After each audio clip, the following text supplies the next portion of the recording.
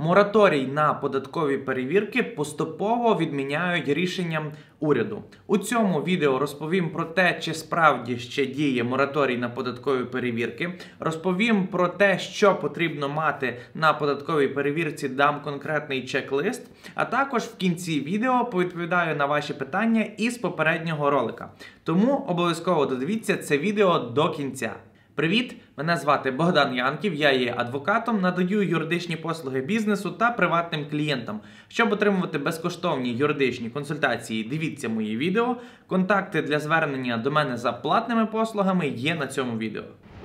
Коли у березні 2019 року ввели карантин, разом із цим ввели також і мораторій на податкові перевірки, а також перевірки інших контролюючих та регуляторних органів. Цей мораторій був встановлений до останнього дня. Карантину, який встановлюється Кабінетом міністрів України, проте станом на зараз, як ми бачимо, карантин продовжують і надалі, але Мораторій на перевірки поступово забирають у вересні 2019 року. Забрали мораторій на перевірки держпраці. Пізніше ще забрали мораторій на інші регуляторні перевірки контролюючих органів, і станом на зараз частково хочуть забрати мораторій на податкові перевірки. 9 лютого набрала чинності постанова Кабінету міністрів України, яка дозволить проводити деякі види податкових перевірок. По-перше, зможуть продовжити ті податкові перевірки, які були призупинені у зв'язку із карантином. По-друге, перевірятимуть формування податкового кредиту у зв'язку із здійсненням ризикових операцій. Також відновлять перевірки по контролю валютного законодавства, а також імпорту товарів.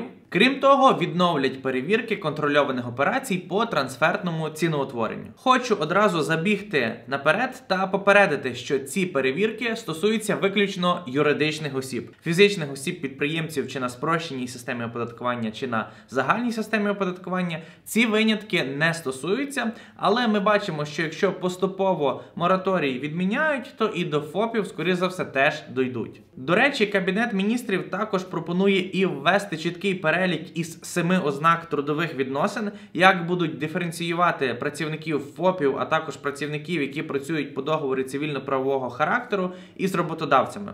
Про ці сім ознак трудових відносин я вже зняв окреме відео. Запрошую вас його переглянути за посиланням у підкасті. І крім того, нагадаю вам, що в кінці кожного відео я відповідаю на ваші запитання із попереднього ролика. Це відео є не винятком, тому в кінці відео будуть відповіді на ваші питання з попереднього ролика. Крім того, пишіть свої питання під цим роликом, обов'язково розгляну їх у наступному відео. Тепер давайте перейдемо до конкретного чек-листа, що вам слід готувати для того, щоб успішно пройти податкову перевірку. Основою для проведення податкової перевірки в більшості випадків є виписка із банківського рахунку підприємця.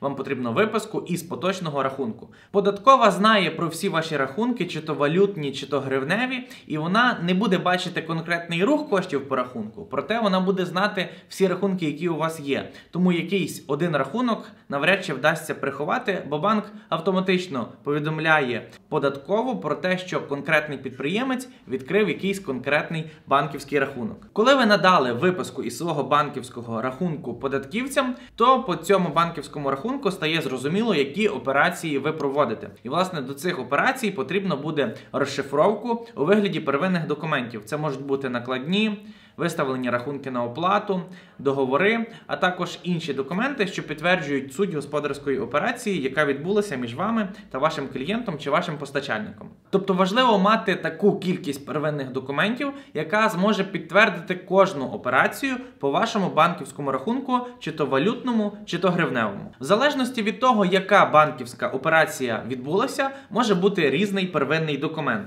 Для операцій за кордоном типово інвойси, а також зовнішньоекономічні договори. Для, наприклад, продажу товару типово або видаткова накладна, або товаротранспортна накладна. Для продажі послуги типовим документом є договір, а також акт приймання передачі конкретної послуги. Наприклад, якщо ви ФОП або юридична особа і отримали поворотну фінансову допомогу, то для цього типовим документом буде договір про надання поворотної фінансової допомоги. Крім того, що виписка із банківського рахунку допоможе податківцям перевірити всі первинні документи, вона також допоможе і перевірити те, чи правильно ви заповнили свою податкову декларацію, тобто чи не занизили ви кількість своїх доходів або чи не завищили ви кількість своїх витрат. Для ФОПів типовою помилкою є заниження своїх доходів, тобто ФОПи неправильно калькулюють свої доходи. А для юридичних осіб або ФОПів на загальній системі типовою помилкою є перевищення витрат, тобто вони понесли насправді меншу кількість витрат, ніж вони задекларували. І всі ці помилки вони призводять до того, що податківці можуть донарахувати вам податок, який ви не сплатили. До речі, ФОПам загальникам та ФОПам єдинникам у 2021 році змінили порядок обліку доходів та витрат. Про це я вже розповів у своєму каналі в окремому відео. Запрошую вас його переглянути за посиланням у підкастці, щоб бути в курсі всіх цих змін. Крім того, банківська виписка, яка є основою для проведення податкової перевірки, також дозволить і перевірити суть операцій, яка відбувалася між вами та вашим контрагентом. Наприклад, якщо ви здекларували дохід в розмірі 2 мільйонів гривень, проте по банківській виписці вас пройшло, наприклад, 500 тисяч, то стоїть питання: а де ще взялось півтора мільйони гривень? І тут самою логічною відповіддю буде те, що ви провели ці півтора мільйони як готівковою оплатою. І вже в такому випадку податкова буде перевіряти правила роботи з касою, дотримання вимог закону про касові апарати, а також зможе вам, якщо ви цього не дотримуєтесь, накласти якісь штрафні санкції. Насправді досить часто податкова перевірка розпочинається із звичайного запиту податкової з проханням надати інформацію про конкретну операцію, яка відбулася між вами та вашим контрагентом. На такі запити теж потрібно правильно відповідати для того, щоб ваша відповідь не стала підставою для проведення податкової перевірки. Крім того, крім звичайних документальних перевірок, податківці мають право проводити і фактичні податкові перевірки. Ці перевірки є досить неприємні тим, що вони можуть відбутися без якогось попередження, тобто, по факту, податківець зможе прийти та провести перевірку. Проте ці перевірки мають певні обмеження, тобто вони є чіткими та конкретними. Зазвичай перевіряють правила роботи з касовим апаратом, перевіряють, чи є у вас ліцензія для торгівлі, наприклад, алкоголем чи іншим специфічним товаром. Або також, наприклад, можуть перевіряти, чи дотримуєтеся ви правильного оформлення трудових відносин із своїми працівниками. Насправді нюансів у податкових перевірках є мільйон, про них можна розповідати годинами. Тому в цьому відео я очікую ваші запитання, на які відповім у наступному відео та розберемо ваші індивідуальні ситуації із податковими перевірками. І вже зараз відповім на декілька запитань із попереднього відео.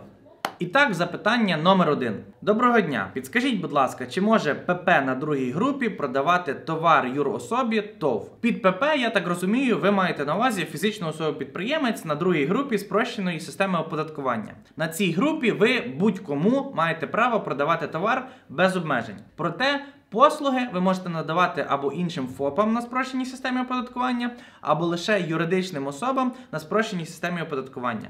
Вам на другій групі заборонено надавати послуги підприємствам, юридичним особам, які перебувають на загальній системі оподаткування. Перейдемо до другого запитання: чи можуть мати ознаку трудових відносин перукарі на першій групі ФОП з орендою робочого місця у ФОП на третій групі? Так, ці відносини є насправді досить ризиковими і чимало штрафів накладають на перукарів за те, що вони таким чином нібито приховуються від укладення трудових відносин в межах салону краси. Тому тут має значення дві важливі ознаки. По-перше, договір оренди робочого місця потрібно правильно прописати, і також зробити так, щоб це виглядало як реальний договір оренди робочого місця. Друга ознака має відповідати тому, що оцей перукар, який вас орендує робоче місце, має мати відокремлене місце і самостійно здійснювати прийом оплати від клієнтів, а не таким чином, що прийом оплати йде, наприклад, на адміністративній стійці.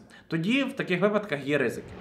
Сподіваюсь, це відео вам було корисним та актуальним. Ви змогли розібратися із деякими нюансами проведення податкових перевірок та зможете краще до них підготуватися. Якщо вам потрібні платні послуги адвоката або консультації, контакти для звернення до мене за запитом є на цьому відео. Обов'язково ставте цьому відео лайк, підписуйтесь на мій YouTube та телеграм канал. Також пишіть свої питання, які я розгляну у наступному відео. А також побачимось з вами в наступному відео.